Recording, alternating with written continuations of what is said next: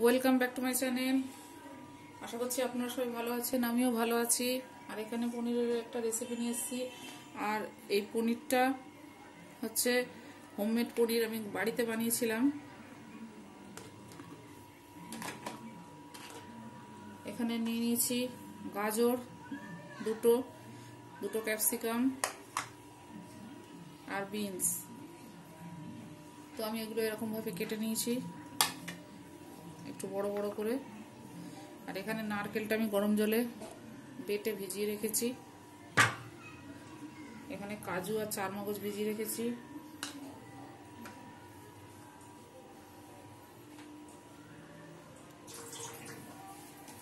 নিয়েছি টক দই।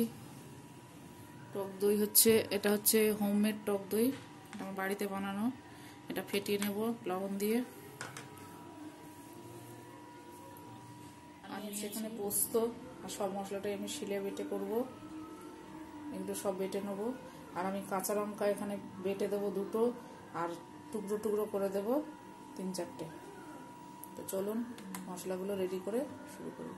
আর আমি এই পনিরটা, পনিরটাকে ভেজে লবণ আর চিনির জলে, উষ্ণ জলে ভিজিয়ে রেখে দেবো।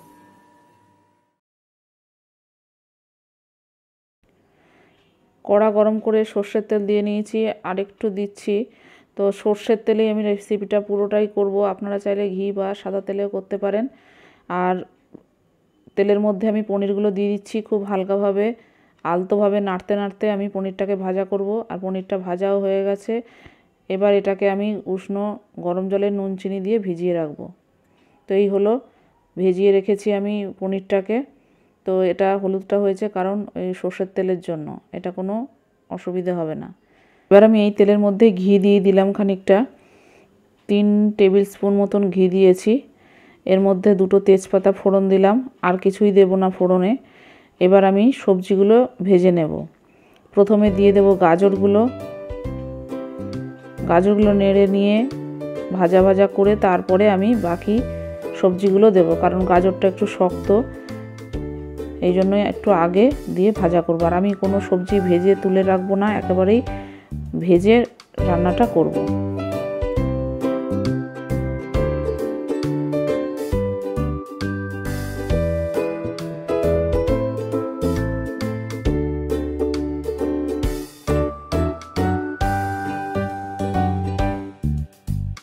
তো এবার এর মধ্যে আমি ক্যাপসিকামগুলো দিয়ে দেব।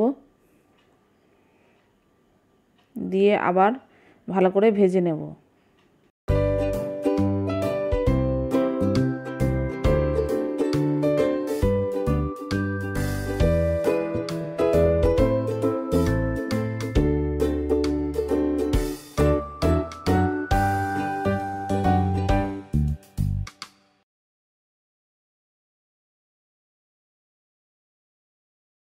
সবজিগুলো আমার এখানে ভাজা হয়ে গেছে। এবার এর মধ্যে দিয়ে দেব মশলাগুলো। প্রথমে দিয়ে দিচ্ছি থেতো করা আদা। আপনারা চাইলে কুচিয়ে দিতে পারেন বা বেটেও দিতে পারেন। আমি এখানে থেতো করা আদা দিলাম। এবার দিয়ে দেব পোস্ত বাটাটা। তো পোস্ত বাটাটা দিয়ে দিচ্ছি। পোস্ত বাটাটা দিয়ে একটু নাড়াচাড়া করে নেব।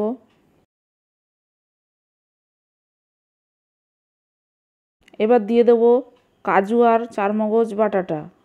কাজু আর চারমগজ বাটা দিয়ে আবার একটু নেড়ে নেব।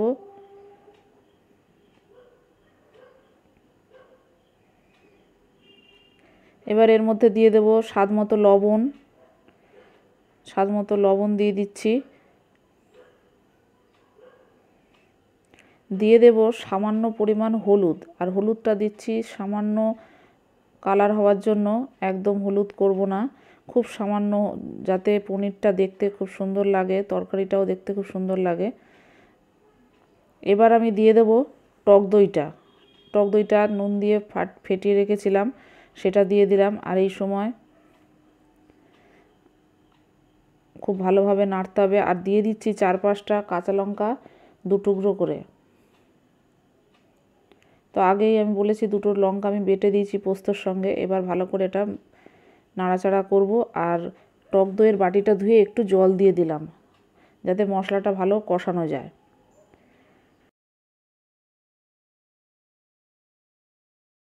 আর সবজির মধ্যে একটু চিনি না দিলে ভালো লাগে না, দিয়ে দিলাম চিনি। নিরামিষ সবজির মধ্যে চিনি দিলে ভালো লাগে। এবার একটু ঢাকা দিয়ে আমি কষিয়ে নেব। ঢাকা দিয়ে দিয়ে কষিয়ে নিলাম তেল ছেড়ে এসছে। এবার আমি এর মধ্যে দিয়ে দেব নারকেল বেটে যে দুধটা করে রেখেছিলাম, সেই দুধটা ছেঁকে দিয়ে দিচ্ছি।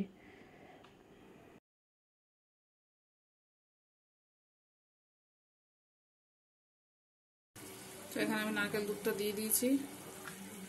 এবার এটাকে আমি ঢাকা দিয়ে দেবো। এটা ফুটে সবজিগুলো সেদ্ধ হবে। আর পনিরটা আমি নামানোর আগে দেবো। তো ঢাকা খুলে নিলাম। এবার এর মধ্যে দিয়ে দেবো একটু কাসুরি মেথি। সবজিগুলো সেদ্ধ হয়ে গেছে, কাসুরি মেথিটা ছড়িয়ে দিলাম। দিয়ে একটু নেড়ে দিচ্ছি। সবজিগুলো একদম সেদ্ধ হয়ে গেছে। এবার এর মধ্যে আমি পনিরটা অ্যাড করব। তো পনিরটা দেওয়ার পরে খুব আলতোভাবে নাড়তে হবে, যাতে পনিরগুলো ভেঙে না যায়। আর আমি এবার এটা ঢেকে দেবো।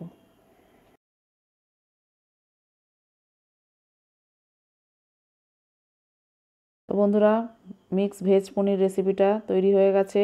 রেসিপিটা কেমন হয়েছে কমেন্ট করবেন অবশ্যই। আর রেসিপিটা ভালো লাগলে লাইক শেয়ার সাবস্ক্রাইব করতে ভুলবেন না। Thanks for watching